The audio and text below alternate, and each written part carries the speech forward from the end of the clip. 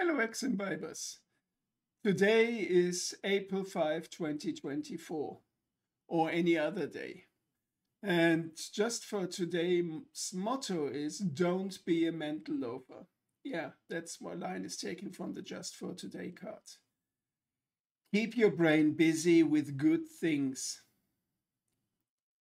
That's very important for me to remember because I can easily gaze into space meditating when I should be concentrating. On the other hand, if I'm supposed to med be meditating, then I can't do it. Contradictory.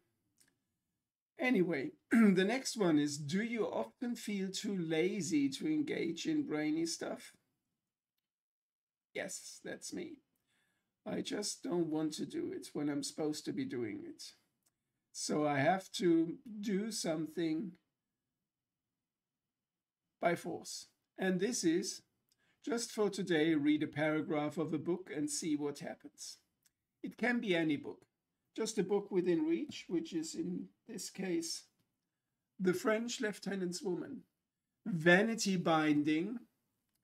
And uh, this means that in 1969, this is the first edition, somebody just um, paid a lot of money to have this um, special leather bound book cover with nice end papers. See, it's very, very expensive, I suppose. So that must have been at least uh, $50 or, yeah, it's an American edition, $50, the equivalent of 100 pounds nowadays. So it's very expensive to have things done like this. And this is obviously from a private library. So let's just check it. What do we have? Let's go to any given page. and see what we have here. We have here an epigraph, you know, the beginning of a chapter. They have a little bit of a quote or whatever, and that's quite interesting. And here the first few lines read In you resides my single power of sweet continuance here, hardy, her immortality. So, what I do next not here, not now, but what I usually do next is just I have read this little epigraph thing, the first part of the epigraph, and I wonder who was Hardy and what is her immortality. Check this Hardy guy on Wikipedia and uh, have a look at the title, Her Immortality, and then do something about it. I often um, buy books just haphazardly because I just feel, let's say, motivated to buy a book after reading one paragraph from any other book that it was within reach. So that's one way of doing it. Helps me. So that's my 20 minutes thought and concentration every day. So let's go to the next batch.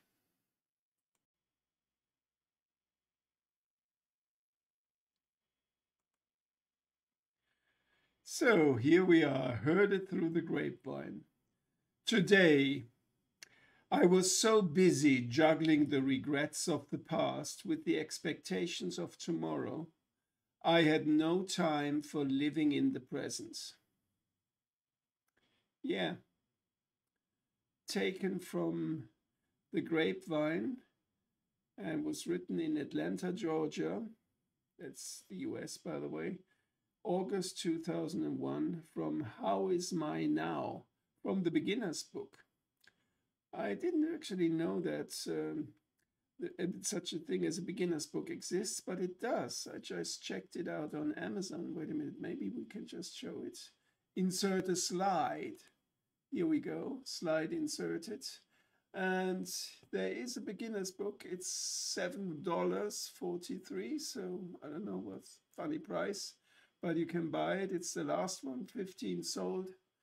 So it is, there is such a thing, and you can buy it over Amazon. That's nice. So we know that now. Just switch it off. Here we go. And just read it again. I was so busy juggling the regrets of the past with the expectations of tomorrow, I had no time for living in the present. Yeah, Atlanta, Georgia, August 2001. wisdom. And who's going to be today's quote? We have on offer, let's go here, Georges Danton, who died on this day, was executed on this day, April 5, in 1794. Or Algernon Charles Swinburne, an English poet, playwright, novelist, and critic. Uh, he was born in 1909. No, he was born in 1837 on the 5th of April and he died in um, 1909. Charles Swinburne, yeah, he was with um, the Rossettis. And there's, I think there's the Rossetti house in Cheyne Walk. That's where he also lived. He lived in Swinburne lived in uh, Chelsea and in I think in Fulham, but I'm not too sure about it. Al- Algernon, Algernon, Swinburne. So, or is it Spencer Tracy, who um, was born in 1900 on the 5th of uh, April? Or Kurt Cobain, American singer-songwriter and guitarist, Club, uh, Club 27, uh, was born in 1967 and he died by self-inflicted gunshot 1994. Or is it Allen Ginsberg, who was who died on this day in 1997? Let's see. But I can tell you one thing: it's neither. We now go to France.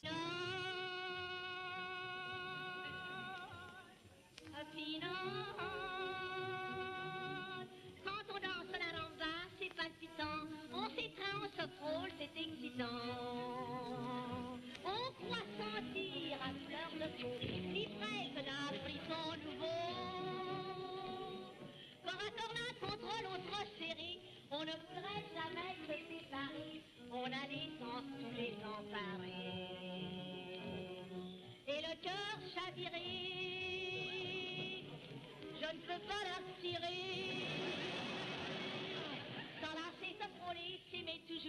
La ramasser la présence de l'amour.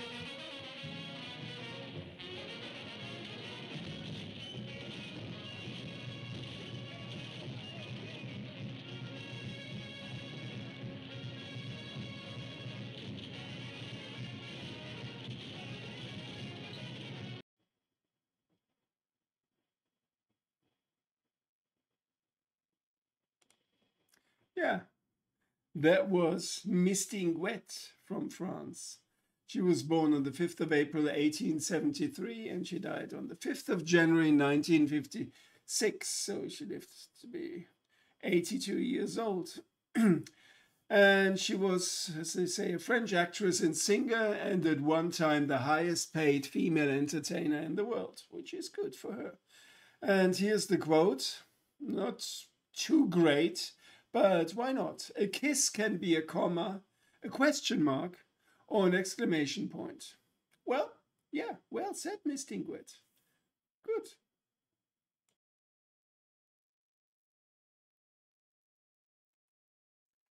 The Daily Aristos. Today, the two world wars were wars among societies dominated by the emotions of the adolescent. East and West unhappily and passionately married in the house of the world, both derive vigor and energy from their mutual love hatred. They erect and exercise and thrill each other.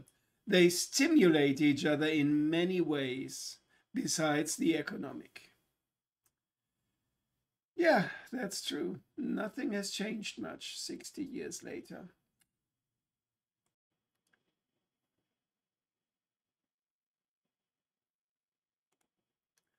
Here we go, the Daily Stoic. Trust but verify. First off, don't let the force of the impression carry you away. Say to it, hold up a bit and let me see who you are and where you are from. Let me put you to the test. Epictetus, Discourses 2.18.24.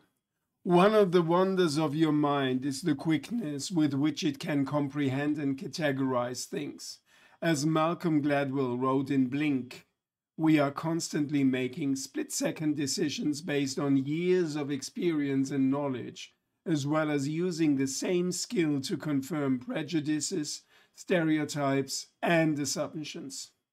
Clearly, the former thinking is a source of strength, whereas the latter is a great weakness. We lose very little by taking a beat to consider our own thoughts. Is this really so bad? What do I really know about this person? Who do I have such strong feelings here? Why do I have such strong feelings here? Is anxiety really adding much to the situation? What's so special about X? By asking these questions, by putting your impressions to the test as Epictetus recommends, we're less likely to be carried away by them or make a move on a mistaken or biased one. We're still free to use our instincts, but we should always, as the Russian proverb says, trust, but verify. That's it. Good Stoic reading today.